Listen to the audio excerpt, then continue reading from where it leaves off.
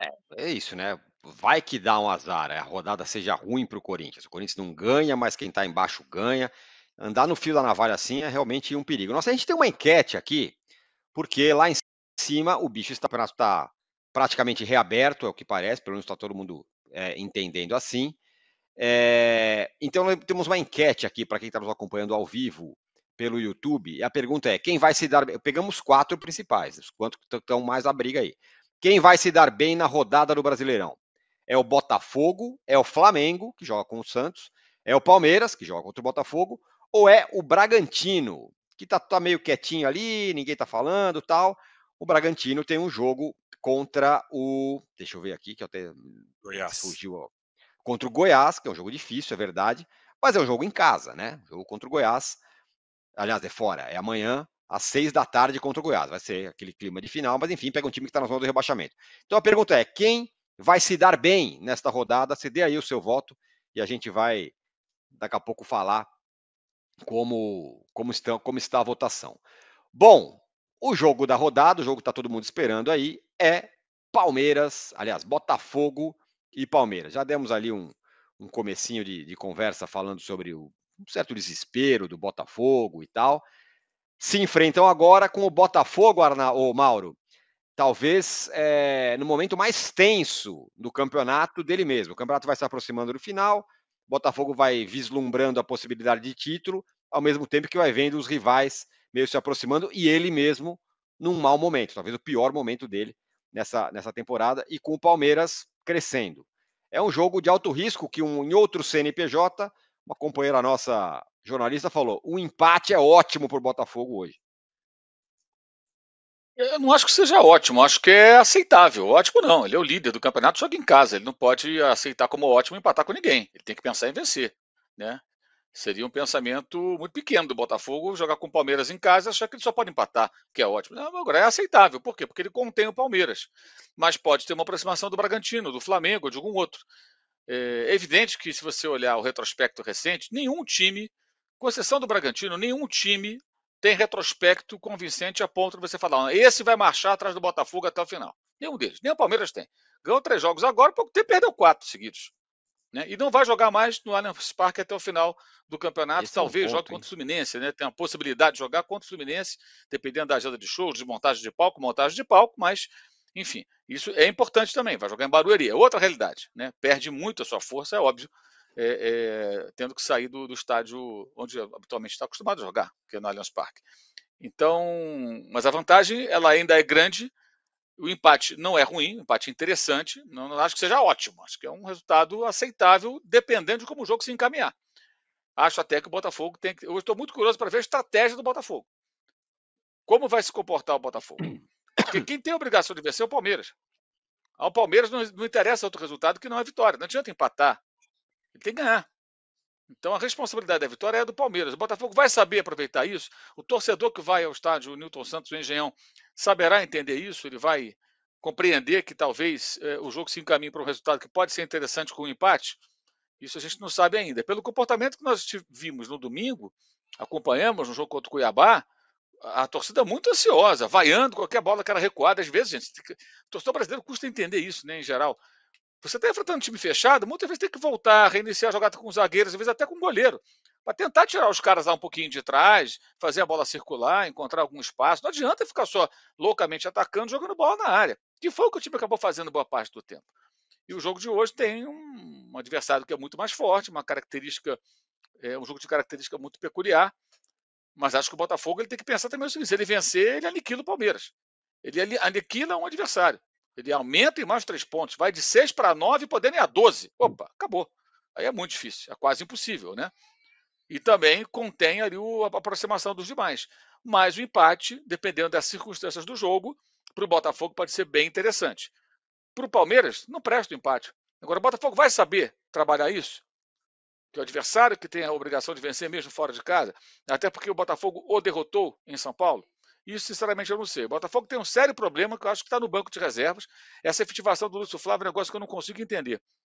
Por quê? Lúcio Flávio assumiu como interino quando o Anderson Moreira foi embora. Aliás, é bem curiosa essa história. A alegação, quando o John Textor não quis a continuidade do técnico, foi que não gostava do estilo do futebol. O Anderson fazia um jogo lá na segunda divisão, um jogo mais reativo, mais conservador e tal. Aí contratou o Luiz Castro, terminou seu compromisso lá no Oriente Médio. Nesse período, o Lúcio Flávio ficou ali como tampão.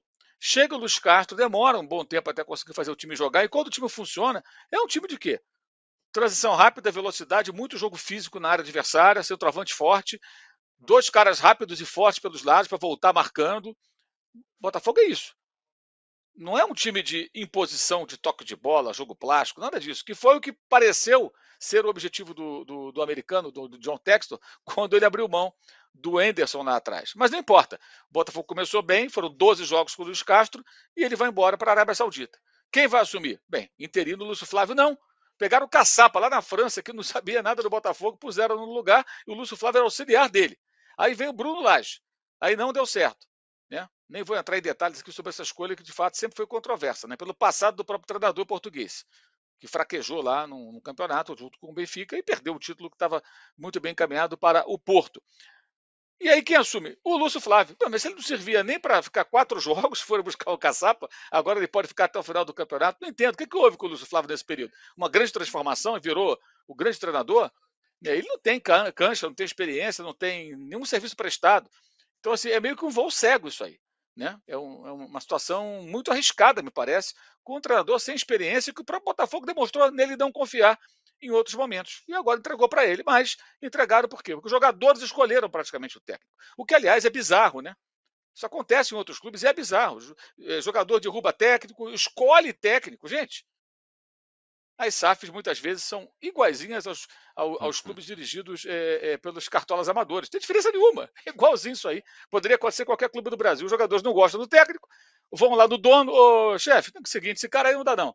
Beleza, vou demitir. Quem que vocês querem? Tá? Queremos o fulano de tal, o que, que é gente boa. É difícil, é delicado isso aí. E tirando o jogo do Fluminense, que o Botafogo venceu, até porque o Fluminense se planta no campo do adversário, dá todo o campo que o Botafogo quer, o Botafogo resolve o jogo dessa maneira, nenhuma partida foi boa. A do América foi ruim. Incrível como o Botafogo não perdeu para o América. Ainda ganhou. Foi amassado o segundo tempo pelo América. O empate com o Atlético no jogo disputado em dois dias também não foi uma boa atuação. E contra o Cuiabá foi um time ansioso, tentando o tempo todo, criando, mas é aquela coisa, não abafa, nervos à flor da pele, e acabou perdendo de uma maneira que o Botafogo evitou derrotas também, né? Contra várias equipes. Palmeiras, Grêmio, Cruzeiro, São Paulo, foram vários times e que o Botafogo foi, o Botafogo foi o Cuiabá. E o PR salvou o time, o Adrielson jogou pra caramba, Cuesta jogou muito bem, e vários foram elogiados. No domingo, os papéis se inverteram. O adversário do Botafogo foi quem sustentou uma vantagem diante de uma forte pressão. Não por acaso o goleiro Lucas Perry, ele era, até a rodada passada, o goleiro mais acionado no campeonato. Não sei se ainda é, mas certamente é um dos mais acionados, com toda certeza. O Lavieri, do outro lado do clássico, bom, o, o, o Botafogo, ele pode hoje fazer esse jogo que ele vinha fazendo. Se fecha, é um jogo muito físico e tarará, e no contra-ataque ou tal, consegue suas vitórias. Conseguiu, inclusive, contra o Palmeiras, assim, no, no jogo de ida no Allianz, né? Foi assim que ganhou o jogo. Para o Palmeiras é sempre melhor, por causa do jogo do Palmeiras, se você tem um time que tenta jogar, né? Um time que tenta jogar, o Palmeiras se aproveita dos espaços que tem. Botafogo, como disse o Al, se pensar um pouco, se fecha hoje. Como que o Palmeiras vai encarar isso? Pois é, até você falou do, no jogo de ida, a gente que foi no Allianz Parque, a gente lembra aqui, o, Veiga perdeu o pênalti e o Palmeiras teve um gol anulado no VAR, né? Então foi um jogo que o Palmeiras teve algumas chances para não sair perdendo de 1 a 0 e o Botafogo soube se defender muito bem. O PR foi um dos melhores em campo e tudo mais. É, eu estou também curioso para saber como o Botafogo vai se portar, justamente por isso, porque para o Palmeiras é um jogo de vida ou morte. O Palmeiras precisa de qualquer jeito ganhar para continuar nessa briga, porque senão como é, já falamos aqui, abre nove pontos de distância, com a possibilidade de virar 12 com esse jogo a menos. Então, para o Palmeiras é um jogo de vida ou morte. Para o Botafogo é um jogo que dá para administrar. É claro que o Botafogo, como líder, o ideal é que ele vença e segure aí a, a aproximação do Flamengo, a, a aproximação do Bragantino, mas num empate é um ponto que você consegue é, tirar um desafio difícil da frente, continuar uh, com uma distância razoável para administrar nas próximas rodadas. É, se o Botafogo, ao mesmo tempo, né, se o Botafogo ficar só se defendendo, ele corre risco de não ser entendido pela sua torcida. O Mauro falou um pouco disso e eu tenho notado também, até na Sul-Americana, quando o Botafogo jogava com o time reserva, o time recebia vaias e tal, e a torcida parecia não entender muito bem aquele momento, né? Aquele momento que, pô, às vezes vale a, valia a pena sacrificar a Sul-Americana, como ela acabou sendo sacrificada, em nome do, do título do Brasileirão, que era o mais importante do momento, que é um título que não vem desde 95, que tem muito mais prestígio, apesar de ser um título nacional. Para mim, o Brasileirão é mais importante do que a Sul-Americana.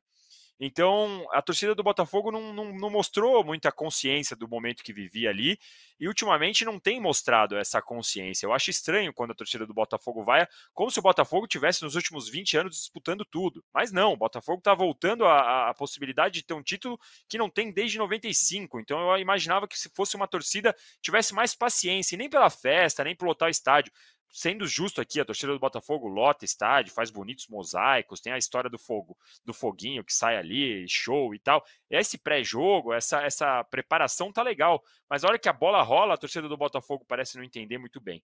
E aí o time do Botafogo tá claramente pressionado, claramente nervoso.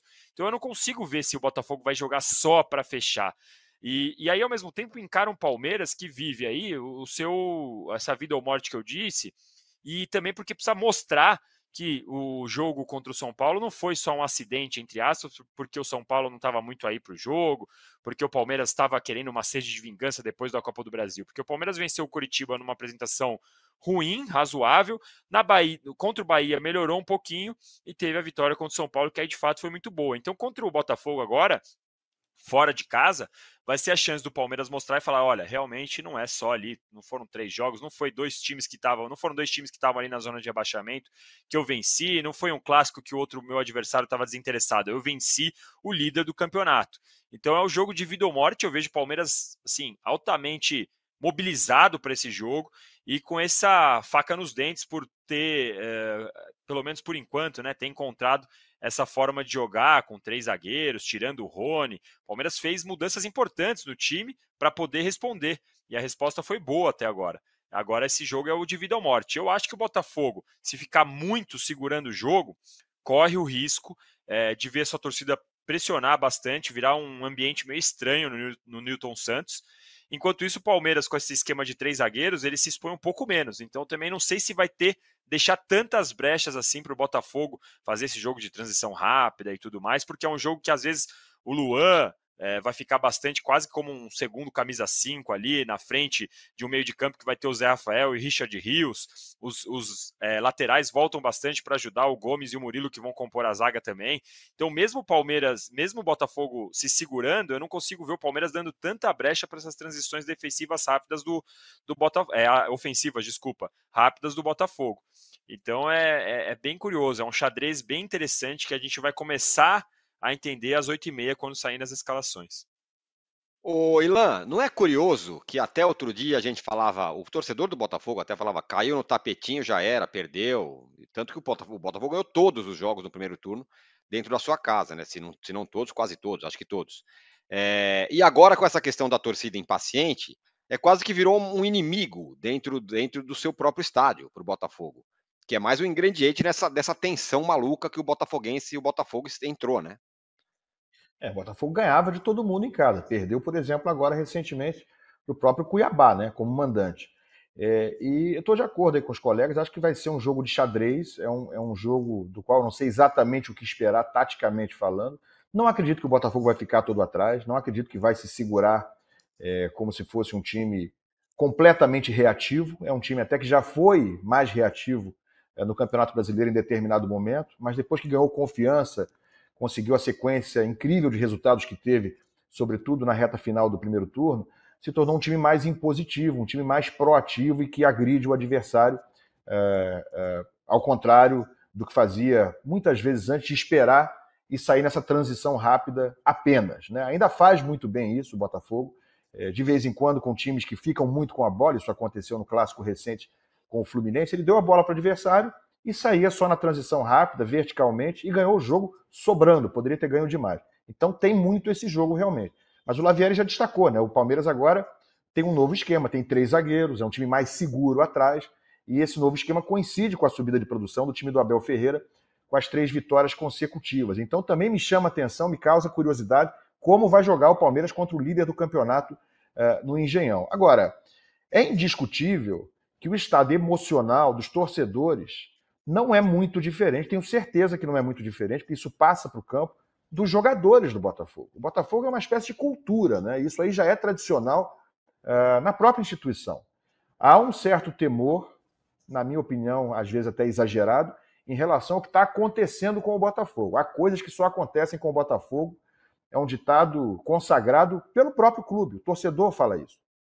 Né? Então o pessoal está com medo que essa vantagem, que já foi de 13 pontos, de 11, de 15, se transforme em pó. Pode se transformar realmente. Pode se transformar. Ainda tem muito campeonato, ainda faltam para o Botafogo nove jogos, mas o Botafogo hoje ainda tem seis pontos de vantagem, com um jogo a menos que o Palmeiras. Então, a gente já discutiu aqui, os colegas já falaram sobre a situação do empate. De fato, o empate não é trágico em relação ao Palmeiras. Longe de ser trágico, até seria bom. Concordo com o Mauro que não é ótimo, mas seria bom em relação ao Palmeiras. Mas não é só o Palmeiras que está no campeonato. O Botafogo, se perder, olhar, se não vencer, se empatar esse jogo contra o Palmeiras, o Bragantino, se ganhar do Goiás, reduz a sua diferença com o mesmo número de jogos para quatro, para cinco pontos. O Bragantino pode reduzir nessa rodada para cinco pontos em caso de empate apenas do Botafogo. Em caso de derrota, pode reduzir para quatro pontos. E eu tenho que lembrar que os próximos jogos do Botafogo são contra o Vasco em São Januário. Vasco desesperado, precisa ganhar de qualquer jeito. É agora no, na segunda-feira contra o Vasco em São Januário. Depois pega o Grêmio no Rio, o Grêmio aí lutando até por título ainda, por enquanto, pelo menos, na teoria. E depois pega ninguém menos do que o Bragantino lá.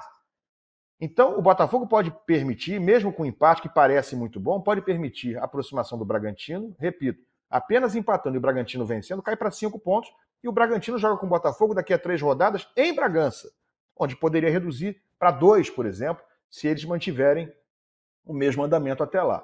E lembrando que o jogo que o Botafogo tem a menos é contra o Fortaleza em Fortaleza. Então, gente, de fato, eu até entendo a preocupação do torcedor do Botafogo. Já foi muito mais tranquilo, né? o visual já teve muito mais promissor. O Botafogo tem uma tabela difícil daqui para frente. É preocupante.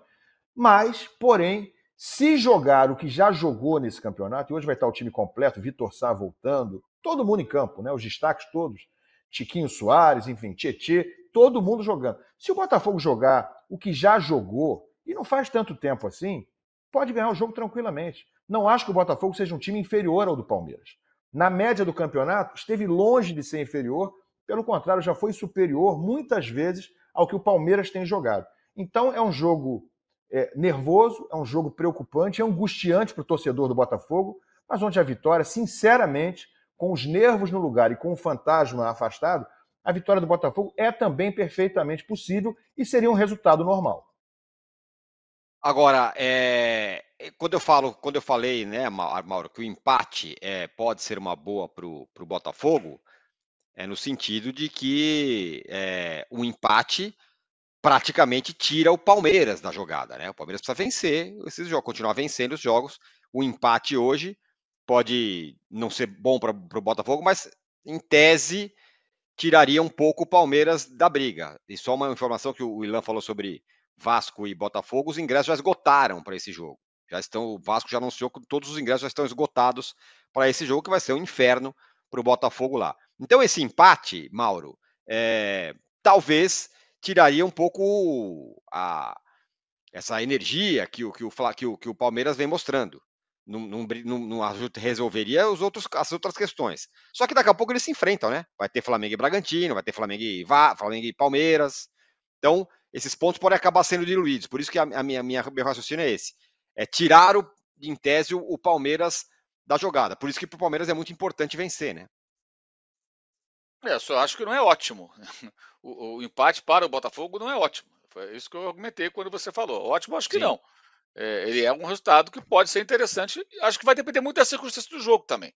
Se o uhum. Botafogo uhum. tiver a oportunidade de ganhar, perder muitos gols e tudo, aí o empate passa a ser um resultado que você vai lamentar. Mas se for um jogo equilibrado, disputado, com chance para os dois, e acaba empatado, para o Botafogo não é um desastre. Claro que não. O Palmeiras é. Ele tem que vencer de qualquer maneira. Acho que essa é a grande questão. O Botafogo vai saber é, lidar com isso, que joga em casa. Se estivesse fora, não, ah, está fora de casa, mas em casa, o Botafogo, a torcida vão compreender que estão enfrentando um time que é melhor, mais experiente, com um técnico mais rodado, que está há três anos no cargo, contra um técnico novato. Uma série de situações. Né? O Palmeiras não chega a ser um franco atirador, mas está mais para um franco atirador do que outra coisa, porque ele estava descartando o campeonato. No primeiro turno, o seu treinador já estava dando o Botafogo praticamente como campeão. Né? Aliás, quantas pessoas disseram que o Botafogo foi campeão, já era campeão na décima rodada, décima quinta rodada, né? Uma pressa danada para dizer que é um campeão. Impressionante. E então acho que o resultado pode ser interessante o empate, dependendo das circunstâncias do jogo. Mas só pode ser interessante para um, para o outro não é interessante em hipótese alguma. Para o Palmeiras o empate não serve. E os outros vão ficar assistindo e tentando é, encostar, né? esperando que o Botafogo pelo menos empate para tentar encostar. Vale para Grêmio, para Flamengo, para Bragantino, pelo menos esses três. Né? Se é que eles vão ter fôlego para isso, que tem essa questão também. Vão ter fôlego é. para arrancar e ter uma sequência de vitórias? Nenhum deles dá esse sinal. O Bragantino, que mais sinalizou nessa direção, com aqueles oito jogos de invencibilidade até a derrota para o Atlético Mineiro, mas vinha uma pegada muito forte aí, jogando bem, competitivo, ganhando jogos, enfim. Mas os demais, Grêmio, Flamengo, acho que o próprio Palmeiras, nenhum deles deu essa demonstração de força até agora. Pode ser que o Palmeiras esteja começando agora. Três vitórias seguidas. Se vence hoje tudo, é outra parada. Aí já dá um cartão de visitas forte aí de que vai ter pique para vencer jogos seguidos. O Internacional venceu nove partidas consecutivas em 2020, já entrando em 21. Não foi suficiente. E por isso que por isso quase foi campeão, que ele veio lá de trás. E o Flamengo no reta final também venceu seis jogos em nove. Aí quando perdeu o décimo que foi para o São Paulo, ainda assim foi campeão. Mas teve seis vitórias, dois empates e uma derrota para o Atlético Paranaense numa sequência final de campeonato. Saiu lá de trás e acabou atropelando também ganhando o campeonato. Agora, qual deles vai fazer isso? Quem se habilita a isso? Né? Quem, quem demonstra força, fôlego para isso? Até agora, acho que ninguém. Daqui para frente, vamos ver se um deles vai ser capaz. É, é o... Aliás, só um parênteses, né? Quem, quem... Eu, eu entendo gostos, né? Gostos é muito difícil de, de... Gosto não se discute, mas quem não gosta de campeonato por pontos corridos, né? Que campeonato espetacular que tá rolando, né? A gente fica alucinado vendo jogo de tudo que é time. A partir das 7 horas você tem que se sentar da frente da televisão e ver tudo o que está acontecendo. É, porque tem jogo decisivo em todos os lugares. Aí, Danilo, tem uma diferença fundamental para a gente fechar o assunto Palmeiras e Botafogo e Palmeiras, é, que não está só no banco de reserva, não só no, na figura dos treinadores, mas também nos times, né? Estamos falando do Palmeiras, que é um time que está desde alguns anos atrás, muito acostumado a ganhar. A ganhar. Sabe o que é isso? Sabe o que está na frente, sabe o que está atrás precisando estar tá na frente, sabe, é, tem uma, uma naturalidade na, na, de encarar uma situação como essa. E do outro lado, o Botafogo, onde, onde tudo é novo. O técnico é novato, o, o elenco é assim, né? Do Botafogo. Não é um elenco que. Tem o Tiquinho Soares, tem um pouco mais experiente, mas não é um elenco que. Tem o Tietê também. Mas, mas não é num todo um elenco que acostumado a esse momento. Também, também é, uma, é uma diferença bem grande, né? Isso faz muita diferença, Tironi. Eu lembro, por exemplo, do Palmeiras campeão brasileiro em 2016. A pressão que aquele time é, suportava e falava, e todo mundo falava porque não ganhava um Brasileirão desde 94. É, e era uma pressão gigantesca, e ainda que o Palmeiras tinha ganhado a Copa do Brasil em 2015, o que diminuía ali, em tese, a fila, né? Diminuía um pouco a pressão, mas o Brasileirão de 2016, aquele time do Cuca, o, o que o, o, começou ali naquele 4 a 0 para o Água Santa e tudo mais, e aí a pressão era gigantesca. Você ia no estádio, você sentia a torcida nervosa, você via nas entrevistas dos jogadores, o Cuca toda hora falando. Tudo bem que o Cuca é um pouco dramático já naturalmente, né? Mas aquele momento, aquela situação, e aí depois conversando nos bastidores do título é, com o pessoal do Palmeiras que trabalhava no dia a dia do CT, tinha todas as histórias de mandinga, de macumba, de simpatia, a pressão de jogador, jogador chorando depois de vitória, torcedor chorando na trigésima rodada. Era um clima muito pesado e que depois foi diminuindo. E hoje é o que você falou. Hoje a gente identifica o Palmeiras com um time que consegue, em alguns momentos, segurar a pressão e mesmo sai perdendo, consegue tentar é, virar jogos. O Palmeiras foi marcado por um tempo por essa, por essa performance. Né? É verdade que agora recentemente diminuiu bem essa, essa produtividade, perdeu jogos, não ganhou os jogos mesmo jogando mal. Tinha uma época que jogava mal e ganhava mesmo assim. Aí agora não, ficou uma sequência ruim mas ao mesmo tempo, né, agora o Palmeiras já eliminado da Libertadores, como disse o Mauro, já estava, ah, Brasileirão já era, vamos ficar no G4 e não tem mais, esse era o papo do Palmeiras, né? Mas agora se vê numa situação de voltar e não, e não sente tanta pressão, né? Não é um time que meu Deus, o Palmeiras está desesperado, está muito mobilizado, está querendo muito. É claro que se perder amanhã vai ter turbulência, vai ter é, patada do Abel na coletiva. Não é que vai ser um negócio totalmente, ah, não, a gente não queria mesmo, não é isso. Mas a pressão está muito para o lado do Botafogo. É, e isso faz muita diferença. E não adianta falar, ah, não era o mesmo jogador que está agora, que está em 95. Não adianta, o cara é ser humano, ele está na concentração. Tá lá, o Botafogo em primeiro lugar. Ele liga a televisão para ver UOL, Sport TV, ESPN, Globo, qualquer canal, tá todo mundo falando. O Botafogo pode ser campeão pela primeira vez desde 95. Tem clima da torcida, tem corredor para o ônibus chegar, tem recepção em aeroporto, tem canto, não sei o quê. Claro que isso mexe com todo mundo, não tem como. Isso é, é, é inviável não mexer. Tem o jogador que fica mais motivado, que vai correr mais, que vai dar o carrinho, e tem os outros que sentem mais a pressão mesmo. Então isso é natural. Você pega um time mais cascudo, que é, é aquele a gente sabe que é o Palmeiras que vai ficar ali, pô, se precisar sofrer um pouquinho, consegue sofrer e depois sai atacando.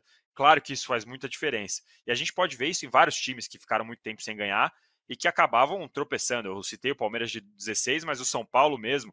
Eu acho que o São Paulo teve o caso do Diniz quando estava na liderança do Brasileirão, teve, claro que aquilo influenciou um pouco nos bastidores, mas a pressão de, de, um time, de saber que precisava, precisava, ganhar depois de tanto tempo, é, isso muda muito. Eu, então eu vejo que essa pressão é uma grande inimiga do Botafogo e no momento é um problema bem menor para o Palmeiras.